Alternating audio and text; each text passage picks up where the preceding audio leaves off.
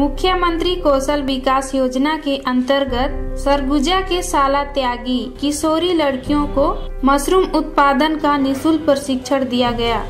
माननीय हमारे जिलाधीश कलेक्टर महोदय के निर्देशानुसार हमारे ज़िले के ऐसे साला त्यागी किशोरी बालिकाओं को रोज़गार और स्वरोजगार से जोड़ने के लिए हम लोगों ने जिला महिला बाल विकास विभाग और जिला प्रशासन की सहयोग से अंबिकापुर विकासखंड के मैनपाट के तराई क्षेत्रों में ऐसी किशोरी बालिकाएँ जिन्होंने किसी पारिवारिक और आर्थिक कारणवश साला त्याग दिया है।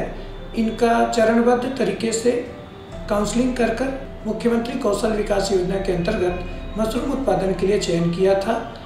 मैं कक्षा दसवीं में पढ़ रही थी, उसके बाद में तीन विषय में सप्लीमेंट्री आई, उसके बाद मेरा, मैं बीमार पड़ी, उसके बाद में घर में थी।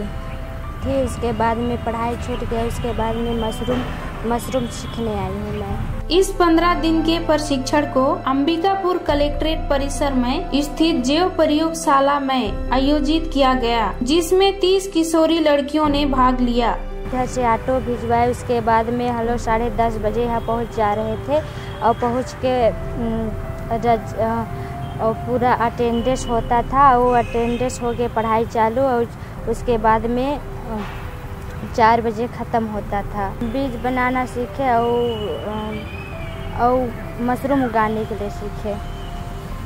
इन लड़कियों को मशरूम उत्पादन की तकनीकी और प्रायोगिक जानकारी देते हुए सिखाया गया।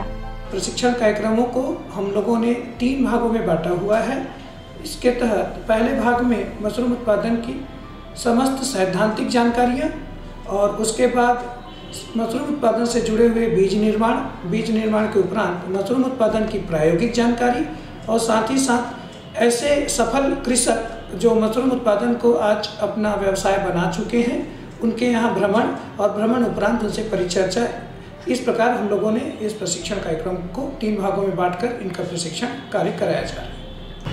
दो विधि होता है, एक परत विधि, एक मिश्रण विधि। मिश्रण विधि में गेहूँ की भूसा के साथ मिलाते हैं बीज को, फिर पन्नी में भरते हैं, फिर उसको रबड़ बांधते हैं, फिर परत विधि में करते हैं। ये भूसा को मतलब गेहूँ के भूसा को भरते हैं पहले एक परत फिर उसके बाद बीज डालते हैं, फिर एक परत करते हैं, फिर बीज डालते हैं, फिर एक परत करते हैं, फिर बीज डालते हैं, फिर ऊपर में गेहूँ की भूसा को करते हैं एक परत, फिर पन रबड़ से बांधते हैं पन्नी को, फिर उसको टांगते हैं। और घर में भी लगा सकती हूँ मैं मम्मी पापा को भी खिला सकती हूँ, मेरे भाई बहन को सबको खिला सकती हूँ मतलब मेरे मोहल्ले हैं ना, उसको भी पूरा खिला सकती हूँ मैं बनाकर।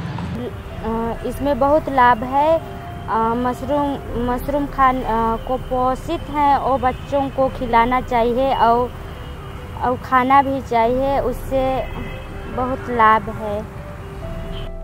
प्रशिक्षण के आखिरी दिन इन सभी साला त्यागी किशोरी लड़कियों में एक नई हिम्मत और उत्साह की झलक दिखाई दी। मशरूम उगाने उगाने के लिए फ़ायदा भी है और मैं उससे कमाई भी कर सकती हूँ।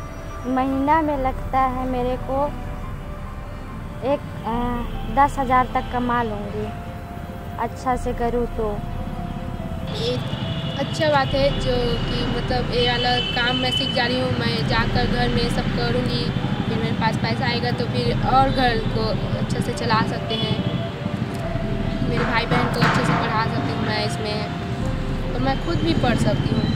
इस कार्यक्रम की सफलता को बनाए रखने के लिए लड़कियों को आगे भी सहयोग प्रदान करने का आश्वासन दिया गया। प्रशिक्षण उपरांत इनका थर्ड पार्टी असेसमेंट होना है।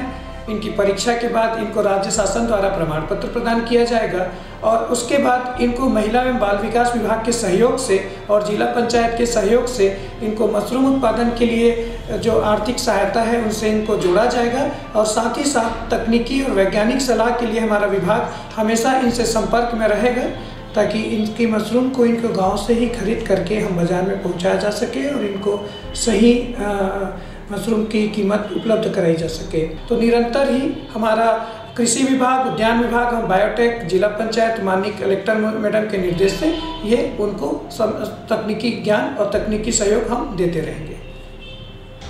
सरकार की यह पहल बहुत ही सराहनीय है। आशा है कि किशोरी लड़कियों को आगे बढ़ावा देने में मददगार साबित होगी। अपने क्षेत्र से जुड़ी खबरों के संबंध में किसी भी तरह की अतिरिक्त जानकारी अथवा सूचना हमें अवश्य दें। हमारा नंबर है eight four three five three double zero one zero six और eight three five eight nine zero two three zero five.